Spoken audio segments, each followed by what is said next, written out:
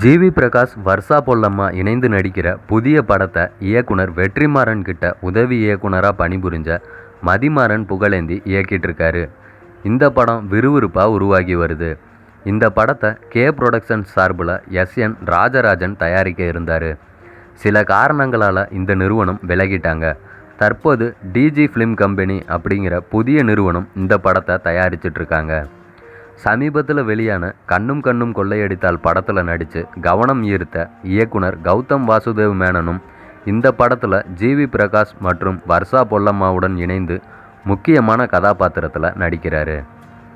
மேலும் இவங்க கூட வாகை சந்திரசேகர் அறிமுக நாயகன் குணா மற்றும் தொழிலதிபர் சாம்பால் ஆகியோரும் நடிக்க இருக்காங்க. ஜிவி பிரகாஷ் இசையமைக்கிற இந்த படத்துக்கு விஷ்ணு ரங்கசாமி ஒளிப்பதிவு செய்கிறாரு படத்தொகுப்பை எஸ். இளையராஜா கவனிச்சுக்கிட்டாரு.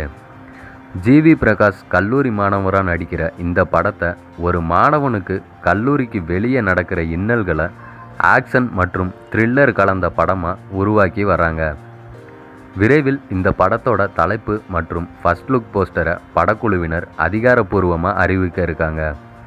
மேலும் கரோனாவிற்கு அப்புறமா ஆரம்பமாக இருக்க இறுதிக்கட்ட படப்பிடிப்புக்கு படக்குழுவினர் ஆயத்தமாகி வருகிறார்கள்.